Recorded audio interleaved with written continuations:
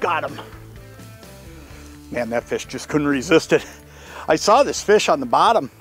He's poked his head up a couple times and sometimes all it takes is what I did there. I just reeled up a little bit and dropped right back down to him. Just kind of gave him a reset. And I, I think a lot of times he's stuck on the bottom of the ice. There, I got him. Got lucky. Oh yeah, good eye. Look at this one. Great eater size fish. Got a little lucky there. This fish got, that fish got hung up on the bottom of the ice and nearly nearly got off. You know, that's one of the easiest ways to lose a fish is when you get hung up there. Really, all you can do is what I did. Just, just stop reeling for a second and get them off that bottom of the ice as quick as you can. And the best way to do that is just give them a little bit of slack. Don't flip your bail open because you don't want him to be able to turn and go too far.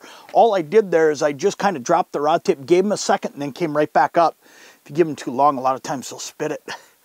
That's a great fish. I want to show you what I'm using here because this is one of my favorite baits, especially for a day like today. Look at that eye, that's a great fish.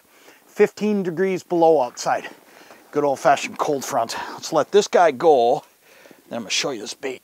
Get out of here, bud. There he goes. That's a great fish. Man, it's easy to say, let's just stay home today. I mean, when it's when it's this cold outside, I've got the heater running and you can still see my breath. I see it every time I'm breathing and talking, but one of the things that I've learned over the years in a cold front is a lot of times you just got to slow down. And it's, it's not necessarily that you've got to slow down how you're jigging. Sometimes you just got to slow down what your bait actually does, slow down the action. And a lot of times you don't have total control over that.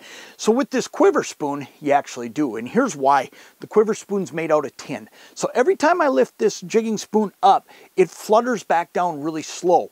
And what it does is it's given that flash, it's given that look of a really easy meal because it's going back down slow. And when these fish are in that slow mode around a cold front, the best thing you can do is give them something easy because they're not going to be darting all over. If this were summertime right now, we were in a cold front where we dropped 40 degrees, I'm not going to pull a crankbait.